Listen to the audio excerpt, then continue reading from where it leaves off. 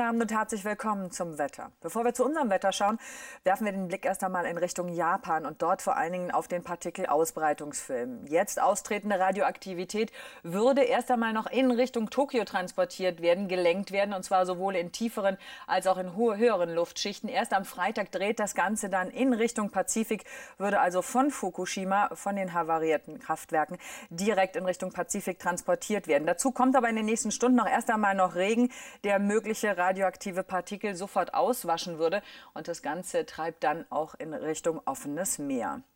Weiterhin aber ziemlich dramatisch die Situation, was die Bergungsarbeiten angeht und die zahlreichen, die hunderttausende Menschen, die dort im Moment kein wirklich festes Dach über dem Kopf haben. Es ist nämlich in den Nächten sehr kalt, winterlich, Temperaturen zum Teil minus ein bis minus vier Grad, auch tagsüber gerade mal Höchsttemperaturen von sieben bis acht Grad. Und hier sehen Sie auch nochmal, der Wind erst einmal Donnerstag, Freitag recht schwach von Fukushima aus, dann ab dem Wochenende von Nordwesten kommen. Dementsprechend würde dann möglicherweise austretende Radioaktivität direkt in Richtung Pazifik transportiert werden. Zurück zu unserem Wetter. Es war heute verbreitet richtig frühlingshaft mit viel Sonnenschein und ein bisschen feuchter Luft. Und die merkte man, kann man auch hier sehen, so hellblau gefärbt, in Form von hohen Wolkenfeldern, also Schleierwolken. Die Sonne kam aber immer noch durch und dazu gab es hier und da auch noch ein paar dickere Quellwolken.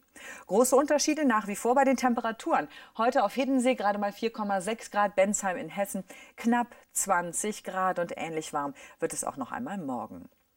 Feuchte Luft, damit haben wir es auch in der Nacht zu tun, in Form von Nebel- und Hochnebelfeldern. Insbesondere im äußersten Norden kann der auch etwas dichter sein, der Hochnebel.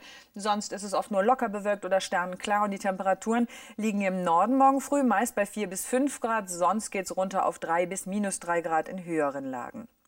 Morgen Vormittag dann viel Sonne schon über der Mitte und dem Süden. Nach Norden hin etwas kompaktere Wolken, so ein paar tief hängende Wolken. Sonne kann sich nicht ganz so gut durchsetzen. Im Laufe des Nachmittags werden Hochnebelfelder, dann aber meist in Quellwolken umgewandelt. Das Ganze kommt noch ein bisschen weiter nach Süden voran. Einzig etwas kompakter die Wolken in Richtung Nordfriesland und Schleswig-Holstein. Im Südwesten sonnig, freundlich und warm. Den Rhein entlang werden es 18 bis 20 Grad sein. Im äußersten Norden etwas verhaltenere 6 bis 11 Grad.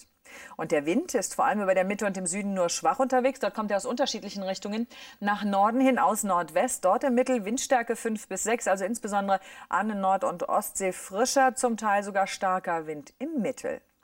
In den nächsten Tagen stellt sich dann das Wetter so ein bisschen um, vorübergehend zumindest. Am Freitag dichtere Wolken im Norden und Osten mit Sprüh- oder Nieselregen, im Westen und Süden noch trocken und sonnig, im Süden sogar bis zu 21 Grad. Am Samstag liegt dann eine Front genau quer über Deutschland, bringt zum Teil Schauer mit Graupel, mit ein paar Schneeflocken, nur im Süden noch längere Zeit sonnig. Schönen Abend im Ersten.